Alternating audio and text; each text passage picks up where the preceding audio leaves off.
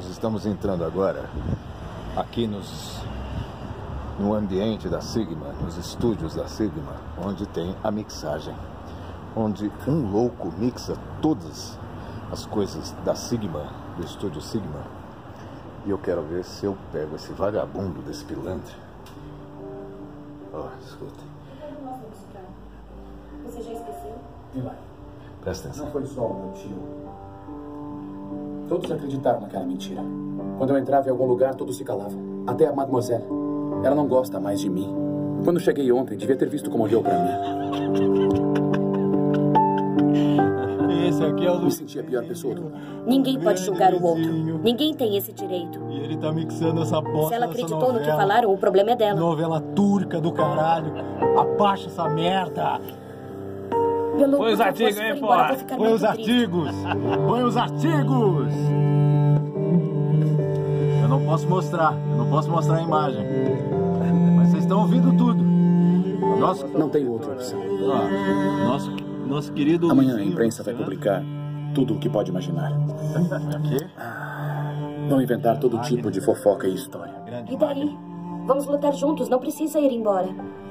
É. Se for embora aí, todos vão pensar que existe alguma coisa. Não é brincadeira. Isso aqui não é brincadeira, não. Não faça isso O comigo. povo acha que eu brinco, mas eu não brinco, não.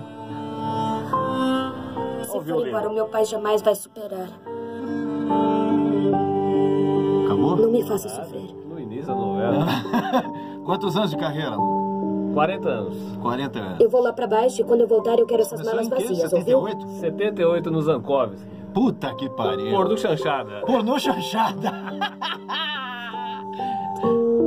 É isso aí. Grande favor, Luizinho na máquina, os dedinhos dele trabalhando. Olha lá, ó. Esse é o cara, gente. Esse é o cara.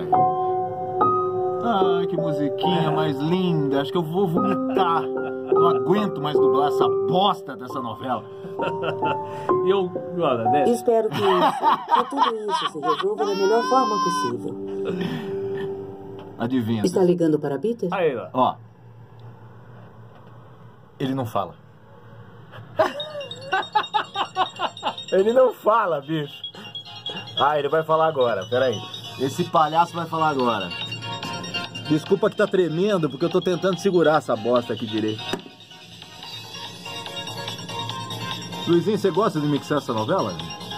Essa até gosto, viu? A mexicana é pior. Onde está o Belu? Está lá em cima, arrumando as malas. Mas que absurdo! Agora vai O falar. mesmo motivo que fez a Bitter ir embora. Agora, agora, agora, agora, agora. Se sabe onde a Peter está, por favor, me diga. Eu já lhe disse que não sei onde ela está.